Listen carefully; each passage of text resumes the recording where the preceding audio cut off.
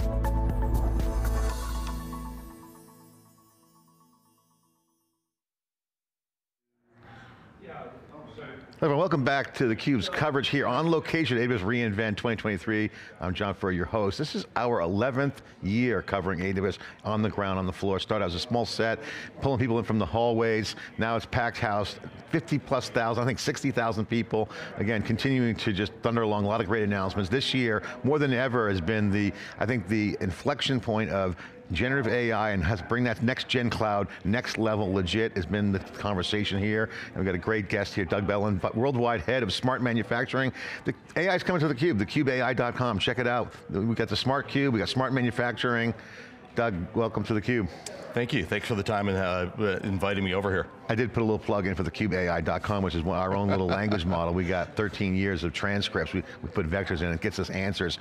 But I mean, we're a small little use case, but that points to some of the things we were talking about before we came on camera, which is the big takeaway from this reInvent is the, uh, the accumulation of all those years we've been talking about cloud, and then you guys always had an industry focus, but this vertical industry focus around, like say, manufacturing, healthcare, um, health sciences, fintech, they're the real winners in, in the, uh, this generative AI boom because the gift of generative AI is the role of data becomes really more valuable and the more specialized the data, the better it can work across other data sets to actually produce better results. So this is like the, it's kind of nuanced, but it's the big theme here at reInvent. Uh, what's your takeaway right now as we, as we get down into things like smart manufacturing? Is that inflection point here? Did we have it already, or is it, is it coming? Where do you see this? It's coming. I don't think it's here yet. We haven't had it yet, especially in manufacturing. Um, I think manufacturing is a incredibly interesting market in here, and I think a couple reasons. One, manufacturing is the largest producer of data.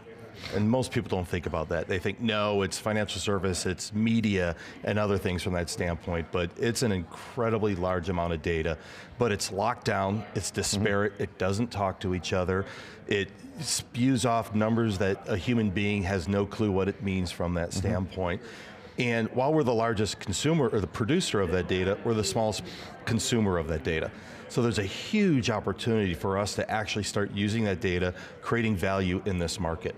And you know, I've been on the company for six years, six and a half years, and it has been that evolution of starting with first, cloud and manufacturing being miles away from each other and every manufacturer going, I'm never going to do that, to now they're going, why am I not doing that? Help me accelerate and get yeah. into here faster as we go forward. It's interesting, and I was, at, I was at a CUBE event, we were talking about regulation, regulated industries. Actually, generative AI is perfectly set up for regulatory industry because the data has been so managed well. It's kind of labeled, it's got compliance. So a lot of low-hanging fruit opportunities are in these industries that have had you know, compliance and, and operating, operating technology, the old school, uh, and IT kind of came together. Yep. We saw that collision, that kind of happen. Now you got cloud and data bringing together on manufacturing. How is that going to actually change the developer experience? Because, okay, now you have new ways to do things. What is, I, I guess I'll back up and say, what do you see as the, the key low-hanging fruit for manufacturing to, to, to kind of go that next level? It's got a lot of data laying around, you got developer apps being built, What's yeah, the low-hanging fruit? I think there's a couple things. One, we're seeing a, uh, the evolution of the citizen developer. In the past, it was always a data scientist or something from that standpoint that mm -hmm. first had to do data wrangling. How do I get to data? How do I make sense of that data? How do I understand what's going on? Second was, okay, now that I have that, how does it affect the business? Because a data scientist might understand the data, but the business is where the value starts to go. So how do you blend together that data scientist with the business person, or make it easier for the end user to become a data scientist light? like yeah. type of person from that standpoint. And if you look at some of the, the partner offerings out there, we've got yeah. a, a, great partnership with uh, a Siemens division called Mendix, which is low code, no code, and what they're able to do is allow a person on the shop floor to make an application. Now in the past, the guys on the shop floor would be like going, I just need to use the application, yeah. but now they're not waiting for the person to bring it to them, so they're looking and going, let me just build this right now, because I know where the data is, I know what I need to do from it from that standpoint. Yeah, and I think that's a great example of kind of this next generation, uh, the, I call it Gen U, you're in charge, it's like, it's almost like, uh, you know, you know, this whole enablement of want, democratization, I love that word, it's been overused, but it truly is democratizing in the sense of if someone could build their own app. But now, that, that if you back and say, okay, how do you get there? Like, now if you look at manufacturing, fintech, and just any kind of incumbent legacy environment, it's got a lot of components, um, and you're moving from that components and engineering, I got to send a request in, I got to get a developer, to a more that an environment that's driving productivity okay, with simplicity and composability. Yep. Okay, that is an architectural shift. So okay, so assume the end state is low code, no code, build an app, I want to be more productive, it's got to be simple and composable. Yep. Okay, that's the here. What's behind that? What has to happen? Because it's not easy when you think, okay, where's the data coming from? Can I get accounting data? Can First, I go, where is the data? and, I, and that's Yeah. the hard part a lot of times is understanding where the data is, Yeah. understanding, like I said earlier, what the data means. Yeah. Um, you know, if you think about a manufacturing facility, there's 10, 15 vendors in there, Mm-hmm. you've got your Siemens, your Rockwells, your Honeywells, your Emersons, all of them have different languages. But on a single line, you may have a machine by vendor A, B, C, D, E, and F. Mm-hmm. You may have a machine that's out there, it's 35 years old. Hopefully it's no longer running DOS, but some of them are, which is also pretty scary. But now you've got, each one also probably has its own database. And if what manufacturing has been good at is looking at each individual cell and fine tuning it to beyond nth degree. Now, how do you look at across the line? How do you look across the facility and then extend that to your supply chain? And you've got these disparate data sets. Great, okay, how do I get the data off of there? So with You got to part- unify them. you, well, you have to unify them. You have to make sure that the same languages are there. You have to make sure it's human readable. The context is there. So in April, we launched a, uh program called the Industrial Data Fabric, which is both uh, AWS and partners. And it does how do I collect the data? How do I contextualize the data? Normalize the data? And then even start to build a data model. Now, that is going to allow you then to have that citizen developer or Gen U, I love that comment, the Gen U of the, you, you make it now from that standpoint. you are in charge. As long as they have the security to get to that data. We're copyrighting that, by the way. Gen U is the cube word. That's not what you can do for your cloud. but what it can do for you is what, ultimately what it is. And, and it, it- it is going to be down that level where Yeah. they can get to that data. Again, security is going to be Yeah. paramount.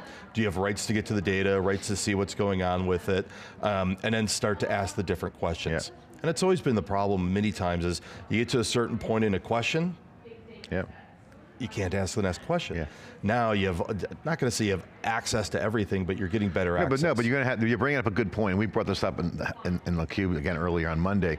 The words are changing with generative AI, and it's almost interesting. It's almost words that we used to know and, and love, words like memory, latency, actually have meaning on the data side. Yep. Latency to getting the right answer faster or that next progression, whether it's a word being spit out from a, on a, on a language model or a creative action, I'm going to move the next step on a solution that's being generated. Memory, retrieval, augmentation, generation. Yep. Did I get the right response? Does it have hallucinations? Right. Not physical memory, but that's good for storage too. Well, there's even, even latency in the process. Yeah. So think about a person standing there, and if you've uh, in your auto ever get an error message up, and it is like uh, a 12-digit number that means nothing Is to that like a hex message? being. What is this, a core dump? Right. You know? Wouldn't it be awesome that instead of that, the car actually says, or the machine that you're standing in front of says, hey, Doug, you know what? I just saw these three things happen. That means in the near future, this is going to be an issue. Wait a minute. One, the machine's talking to me. That's pretty cool. Yeah. Uh, two, it's not giving me a hexadecimal message. That means a zero to me. And historically, what you did was you basically went off to the, uh, the air-conditioned room. You found the right file, which was 500 pages long. You had to go through that for about an hour and a half and find the one Yeah. paragraph that you were looking for. Now that's right like that. So if that's a quality issue, or if that's the machine that's going to break in an hour or six hours, you just stop Yeah, that. yeah, and I think that you're pointing you're pointing to exactly why generative AI is so powerful and why it's going to change. The expectation of what happens at the at that end point of the user experience is going to be changed. For example, th that outcome is saving time, reducing the step it takes to do something, and it's easy. Yep. These are major, simple concepts that are winning formulas for, for success. Yeah. Okay. So okay. So let's take unpack that. The data's got to be there, right? So okay, we're seeing um, you guys do things like Health Lake, Security Lake. Are you going to have a manufacturing lake? So, I mean, I'm, I mean, I'm a big fan of data lake. Never really liked the word data lake. I like the word data ocean because a lot of things are moving around and currents and things are more, you know, different. But data lakes can be good if they're done properly. So what does the data lake concept look like, whether it's centralized to enable the intelligent fabric or whatever you, what did you guys, uh, the intel- Yep. industrial The- data the fabric. industrial data fabric, Yeah, yep. what does that concept look like? What should be the principles of a, of a good hygiene, hygiene oriented data lake? The, the endpoint or the target for industrial data fabric is a data lake. Now, do we need to build a custom data lake for manufacturing? Mm. Potentially with, you, but it's more use case driven. It's customer driven. It's customer driven. So instead of saying, okay, now how am I going to format this data lake for use particular? Because every business, so am I first, am I discrete manufacturing, process manufacturing? Am I regulated or unregulated? And all of the different permutations. And or can I actually make it to a point where, because we're doing with industrial data fabric, we're building that contextualization, we're building the data models into it, we're building the capability now that I could say, what application are you looking for? Yeah. Oh, you're looking for a quality application to understand what is happening on the product? Guess what? That now attaches right to that data fabric, sitting Yeah, on a data yeah, lake, yeah. and we can make it happen very quickly. You know, I get I, I get uh, nerded out when you hear things like you know context, and, and one of the things I like about generative AI, and the and the models, large language models, and the foundation, the concept of a context window. Very token oriented, very in the weeds, but like the point is, what's the window that you can ingest in to the AI. Now that's increasing from a token perspective. I think Anthropic's big, bigger than OpenAI is at this point. Um, but that's the that's the constraint there. Okay, so okay now from the customer standpoint, that means what data is being fed into the the fabric, Yep. and into Yep. the into the system. That's context. Yeah. The behavior is the manufacturing. Yes. So we're back, kind of back down to the contextual behavioral paradigm of a search, I guess. I mean, like this is. this is a data search retrieval problem, or is that the architecture? Part of it is yeah. a little bit with that. Yeah. I mean, uh, but also part of it just has to do with making sure that the languages are the same.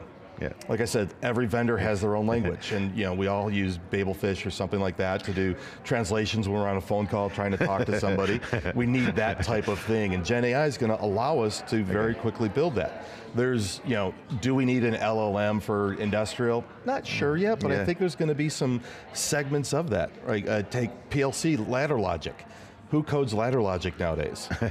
but wouldn't it be awesome to be able to say, make that robot do these three things, Mm-hmm. and you kind of walk away and you come back and you look, well, wait, oh, that, Yeah. that'll work. Let's test it. I mean, we have a philo- I mean, we have an opinion on this. We think we and we published this research uh, on the Cube Research. We have published the power law of AI, which is uh, just a simple power law. It's going to have a big fat neck and tail, and there's going to be a long tail of specialty, custom, because it's all beauty's in the eye of the beholder. If the Yeah. customer sees data that's valuable, they're going to want to build some sort of model around that and leverage it as either as context input or into the process. So again, back full circle to why you're here is people are really trying to figure out, Doug, how do I start re-architecting my system, whether it's rewriting code or throwing stuff away or rebuilding to enable, like the security business enabled developers to be in line, shifting left, and doing it properly with governance built in and security built in.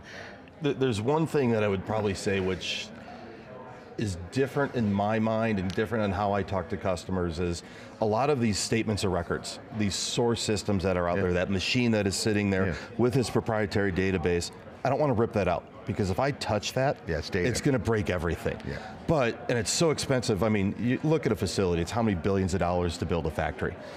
They're not going to just go, hey, Doug, you know, that's a pretty cool idea. Give me another billion and a half to redo it. so, so how do we take those 10 and 20 year old data sources, which are statements of record, but then you're building a layer on top and uh, Yeah. within it from there. But we're also looking at it in the long term where it's not just what I would call northbound. How do I get the data into the data lake, but is there a prescriptive way that the data lake can actually start to write back as well? So now you've got, you know, this is the the mega version of that autonomous factory. Yeah. You know, the autonomous factory is self-healing, self-generating, self-normalizing as you start to move forward.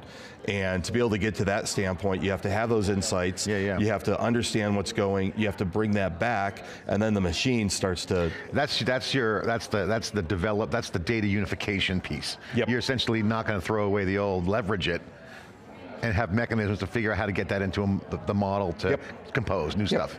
Yep. That's the new, that's, that's the first phase. That, that's the model, is how do I first get the data? Again, that's where Industrial Data Fabric is helping with us with Yeah. that standpoint, getting it so a human being can understand it, right? Part of it is that, I go back to that all the time from there. Um, but part of it as well is, you know, right now there's the, the great surveys from a lot of our analysts talking about pilot purgatory. I go out there and I can do predictive maintenance on one machine really well. yeah. End of sentence, right? I stopped there on purpose, right? But but a, a factory has hundreds of machines. Well, the theme of this show has been end to end. Right. Right. So that's the ultimate end to end is factory. Yep. Right. So, Yep. um, I guess I guess the final question is is is what is a smart factory in your mind today, and how does that evolve? Okay, assuming that's the architecture, people start rethinking, reimagining, reinventing the uh, the data piece of it, which you just laid out. What is smart uh, manufacturing today, and how does that evolve? It's, it's more towards the self-healing, self-normalizing from that standpoint. So it is not a person sitting there in front of a human machine interface on that machine, hitting the keyboard every five minutes, hitting enter. it is the machine doing it from that standpoint. It's the human being though giving that input of the, because the cognizant standpoint of a human being is completely different and AI can't do a lot of that and probably won't be able to, at least in my lifetime. so, uh, you know, I don't like the personless facility, but the, the autonomous is much air- better because the person is still in the loop. The person is Yeah. still in the capability to be able to have that capable uh, that offering as we go forward. Human capital, Swami said that on his keynote, is a huge part of the scaling the data in our heads, by the way. Yep. We have data there too. It's got to Yeah. get that in the fabric. Yep, yep. Doug, thanks for coming on. Great conversation. Alrighty, thank you. Great. Smart manufacturing is just another example of how generative AI is going to move closer to the edge and the customer where the data is different and important, but super valuable for that use case and application while leveraging the cloud scale. This is kind of the paradigm. We've been talking about in theCUBE for years. Horizontally scalable, vertically specialized, kind of all working together. This is what Gen AI is going to enable. And we'll be back with more CUBE as we get content coming to you later today from the location. We'll be right back, back to the studio.